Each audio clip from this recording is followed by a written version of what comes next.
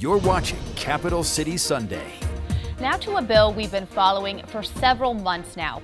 In December, Republican Senator Joan Ballweg joined the show to discuss her bill to extend postpartum Medicaid coverage for low-income new moms to 12 months. Current state law limits that to 60 days. Now, we're told the bill would impact more than 5,000 women in Wisconsin, and it did clear the Senate with bipartisan support, but never got a vote in the Assembly. Madison Rio spoke with an advocacy group about the bill, and she has why they say they'll keep pushing, even though, barring special circumstances, the legislative session is likely over. Volunteers and staff at March of Dimes, Wisconsin have a mission to create what they believe would be a better healthcare environment for Wisconsin's moms and babies. A bill that aims to expand postpartum Medicaid coverage for low-income new moms cleared the Wisconsin State Senate in the fall with bipartisan support. But lawmakers in the Assembly never took it up, even though it had Assembly co-sponsors from both sides of the aisle. Now, the session is officially over and advocates who supported the bipartisan bill say they're disappointed. Volunteers who work with March for Dimes include medical professionals who see firsthand the impact pregnancy has on women and their families. That includes Dr. Alicia Sprecher, who tells me many mothers need longer than the current 60 days allotted for postpartum Medicaid, especially if their birthing situation isn't straight from a textbook. These families are struggling with babies that are sick. In December, a few months after the bill passed the Senate, Republican Assembly Speaker Robin Vos appeared on our program and indicated that the bill was likely not something the Assembly would take up. The taxpayers of Wisconsin pay for the nine months when the mom is expecting a baby. It pays for time after the baby is delivered, and there are some who wanted to go for the mom all the way until she is at 12 months. That's just too long. We at the time, Vos said the expansion program would be a duplicate of a federal one that already exists, Obamacare, and that postpartum women living in or near poverty qualify for Obamacare for free. So why would we take a program where they qualify for free where the state of Wisconsin doesn't have to pay anything and have the state of Wisconsin pay a huge share of the cost to extend those benefits when they've already got them? It doesn't make economic sense for Wisconsin.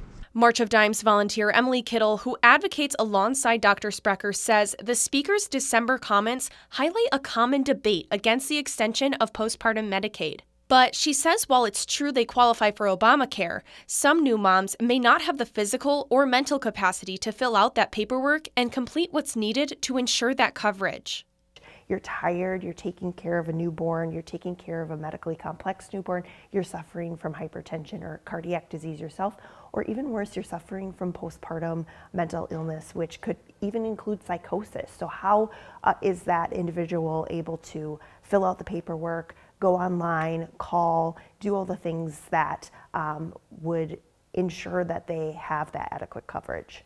Right now, a majority of states have passed legislation that expands those benefits, including in states that are Republican controlled. This isn't the first time this legislation has been introduced in Wisconsin, and advocates say they will keep trying to push lawmakers like Vos to get the legislation through the legislature and onto the governor's desk. March of Dimes and other health advocates are also working to encourage lawmaker support of other legislation that would broaden paid family leave. Republicans have rejected similar proposals in the past. That was Madison Rios reporting. Madison, thank you. This past week, the Joint Finance Committee rejected most of the literacy curriculum recommended by the State Department of Public Instruction. DPI wanted the committee to approve 11 early literacy curricula for kindergarten through third grade. Instead, lawmakers approved only four. Those are recommended by the Council on Early Literacy Curriculum. School districts can still use other programs to teach students how to read, but they'll only get partial reimbursements if they use one of the approved four.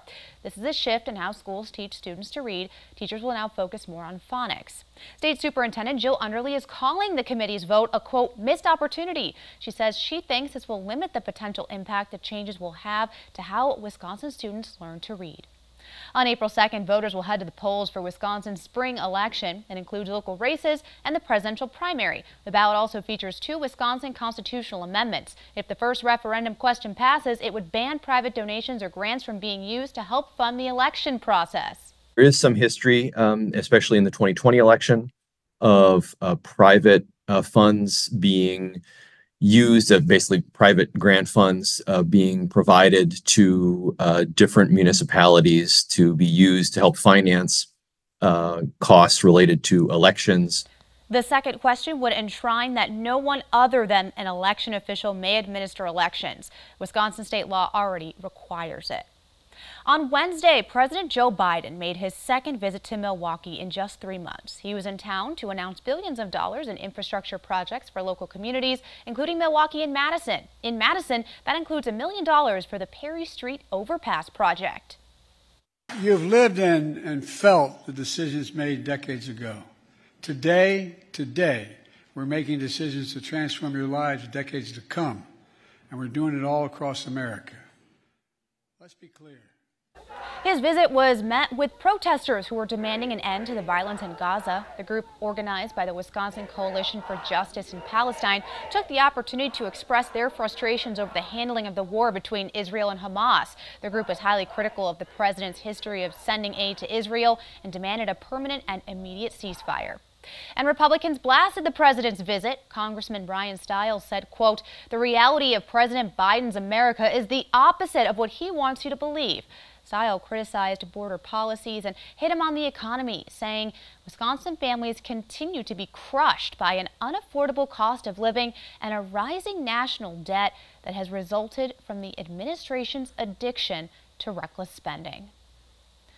Well, that is it for this edition of Capital City Sunday. Thank you so much for joining us. As always, if you have any interview suggestions or questions for the show, feel free to email me at smaslerdonar at wkow.com. But that is all for now. We'll see you back here next week, same time, same place.